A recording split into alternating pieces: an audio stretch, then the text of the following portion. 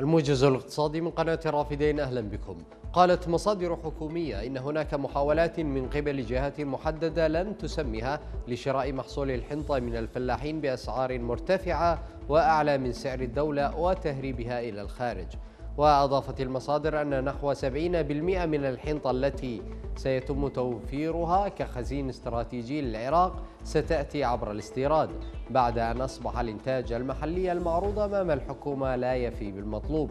وقال معاون مدير عام الشركة العامة لتجارة الحبوب حيدر نوري إن مجموع المحصول المحلي والبالغ مليوني طن سيتكفي لمدة أربعة أشهر فقط ما يعني أن الوزارة مضطرة لاستيراد ما تحتاجه لسد حاجة البلاد للأشهر اللاحقة.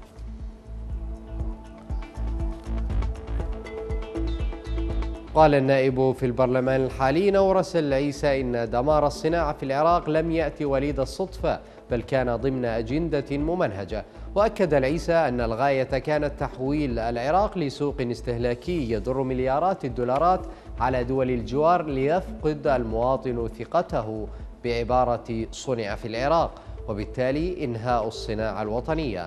وأضاف العيسى أن كل الحكومات المتعاقبة بعد عام 2003 مسؤولة عن انهيار الصناعة في ظل وجود قوى متنفذة لا تريد عودة الإنتاج الوطني وإبقاء سوق العراق رهينا للخارج. قالت شبكة سي ان ان إن العراق غير قادر على سد الفراغ الذي خلفته خسائر النفط الروسي. وأضافت الشبكة أنه بإمكان العراق أن يزيد إنتاجه بواقع 660 ألف برميل يوميا ولكن الانقسامات السياسية فيه تسببت بعرقلة الاعتماد عليه في تعويض النقص مضيفة أن انعدام البنية التحتية اللازمة لزيادة الإنتاج والاستثمارات في المنتجات النفطية ستغرق سنوات لكي تعطي ثمارها. وأوضحت الشركة أنه رغم امتلاك الشرق الأوسط لنحو نصف الاحتياجات النفطية العالمية فإن انعدام الاستثمار في البنية التحتية والنزاعات من الأسباب التي تمنع المنطقة من أن تهب لإنقاذ أوروبا.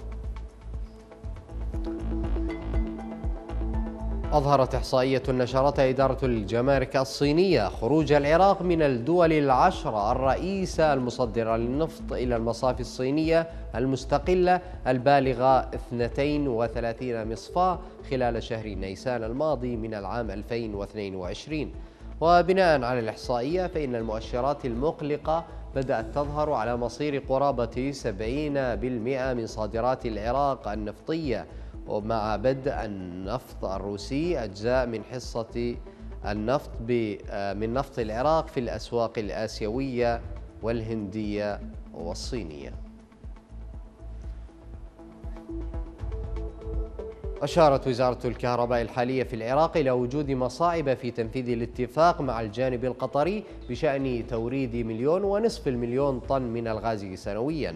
وقالت الوزارة إن تنفيذ الاتفاق يحتاج إلى اتخاذ إجراءات سريعة وأمور لوجستية كتجهيز الموانئ وإنشاء منصات للغاز المسال وتوفير شبكة أنابيب لنقله من الموانئ إلى محطات الكهرباء وهو ما لا يمكن تنفيذه في الوقت الحاضر.